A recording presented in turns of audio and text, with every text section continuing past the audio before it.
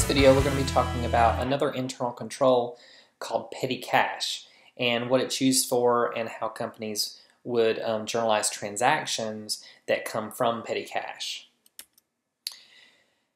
Petty cash is used as a control for cash because it's cash that you have on hand that you can use to pay for small expenditures. Like maybe you have a little cash um, zipper pouch or something like that where you keep $200 or, or something like that. Then you can go and, and pay for small things, small office supplies or that type of thing, where you don't have access to a large amount of cash at any one time. Controls that you can still have over the petty cash fund are things like a custodian. So one person would be assigned that controls this petty cash and, and reviews all the tickets. There's also something called an imprest system that typically um, petty cash will follow. The imprest system simply means when it has, if you have a petty cash fund that has $200 in the fund, it stays at $200. So when transactions affect the petty cash fund, they're actually affecting cash, not petty cash. And we'll see what that transaction looks like here in just a second.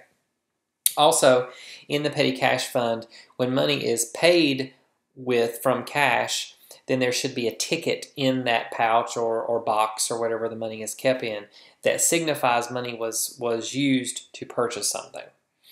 So the first thing we have to do when we're interested in using a petty cash fund is to establish the fund.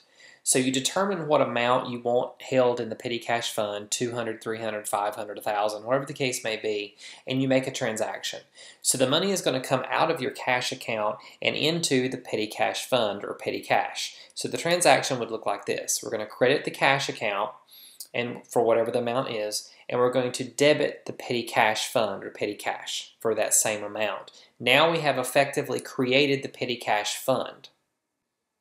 So now that we've established the petty cash fund, we can actually start making um, purchases from that fund.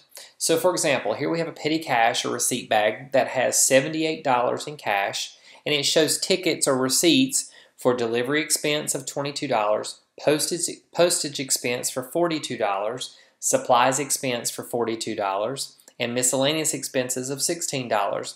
The original balance was 200 so for me, the easiest way to, to, to journalize a transaction based on these expenses is to say, well, I started with $200 and I only have $78 left. So I'm going to have to put back in my bag $122. That's how much cash, no matter what the receipts add up to, I've got to get $122 back in that bag. That's because it's an imprest system. It has to stay at $200 at all times.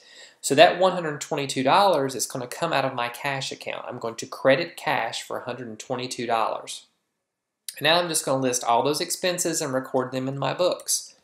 Delivery expense, postage, supplies, and miscellaneous. In this case, we're happy because they actually all add up to $122, so everything seems to be, to be fine. But what I want you to note here is there is no entry in this journal, this journal entry made to petty cash.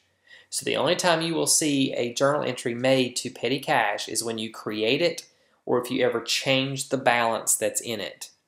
Notice we are crediting petty cash. We don't credit, I mean, we credit cash. We do not credit petty cash. Okay, so keep that in mind. It's an imprest system. But what happens if the cash receipts in the bag don't match um, the cash that's missing? Then what do we do? Well, here we have this a different little scenario here. We still have $78 in cash and we're supposed to have 200 and then we have our expenses. So it's the same scenario. We still know we're going to have to credit cash for $122. That's how much we need to put back in our bag. However, when we look at the, the expenses that we've got here, they only add up to $120. So we actually need a debit of $2 to make this journal entry balance. And this is called cash short and over. Okay, so it can be a debit or a credit to cash short and over. In this particular instance, we need a debit. Okay, so what happens here is it acts like an expense. It's short. Our bag was short. So if you have a balance in your cash short and over account at the end of the period, and it's a debit balance, then that's going to act like an expense on the income statement. If your cash short and over has a credit balance, it's going to act like a revenue. Well, let's take one more example. Here we have our petty cash fund once again. we have $78 in cash and it's supposed to be 200 So we know once again that we're going to have to credit cash for $122. But when we look at our expenses, they actually add up to $124, our receipts. So in this case, we're actually over. So we need a credit in this case to make it balance, to get that credit side up to $124. So at this instance, if these were two different transactions, our cash short and over balance would now have a zero balance, which is technically what we want to have. Don't forget if you enjoyed the video, give it a thumbs up and questions and comments are always welcome.